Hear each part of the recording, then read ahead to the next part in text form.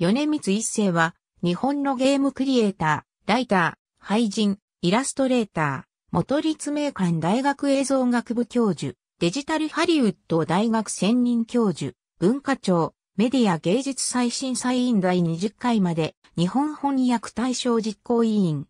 広島修道大学人文学部、英語英文学科卒業。1987年、コンパイルに入社。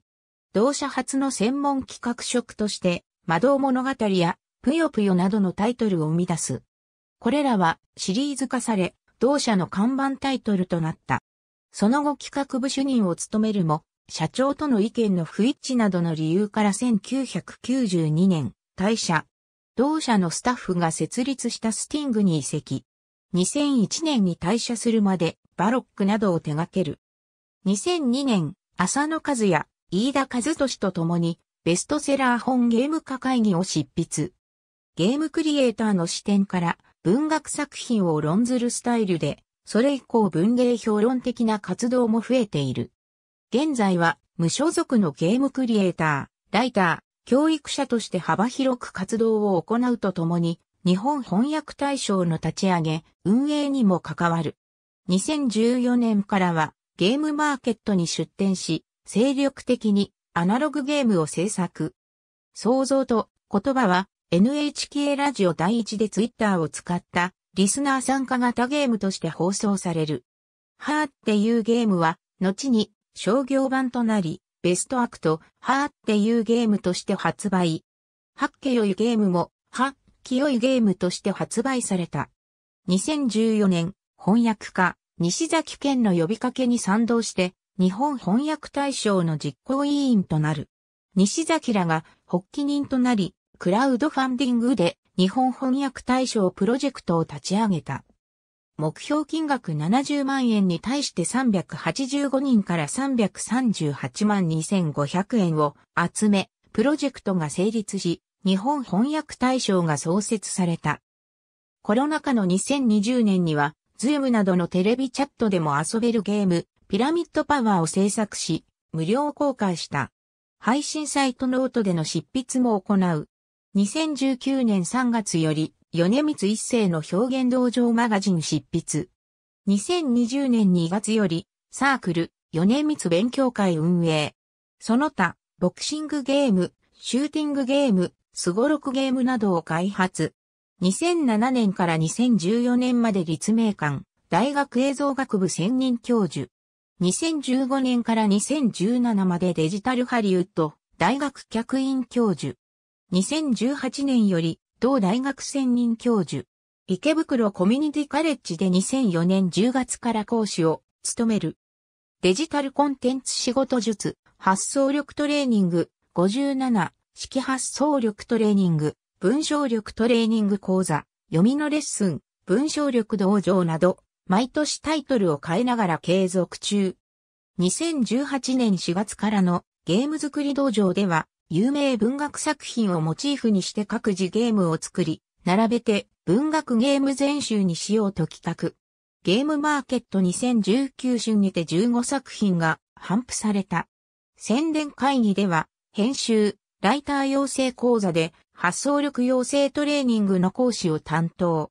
編集、ライター養成講座上級コース、米光クラスの専任講師も務める。2006年、ミニポタライブ、僕がゲームを作らないと世界が滅んでしまうから開催。演劇散歩ゲーム作品。散歩をしながら楽しむライブ。観光ガイドの歪んだ妄想バージョン。2008年より浅野和也、飯田和俊と夜のゲーム大学開催。2009年8月29日から30日に王子小劇場で上演された劇団中郷超能力学園 Z に出演。2011年より、知の帽子、長島優、堀本祐樹と共に公開区会ライブ、東京マッハに参加。2020年2月の第20回以降は、オンラインで開催されている。2013年より、柴崎ゆか、長島優、豊崎由美と、チアリーディング部を結成。著者本人をあえて招かず、他人様の新刊を応援する公開読書会、スポークンワードを行う。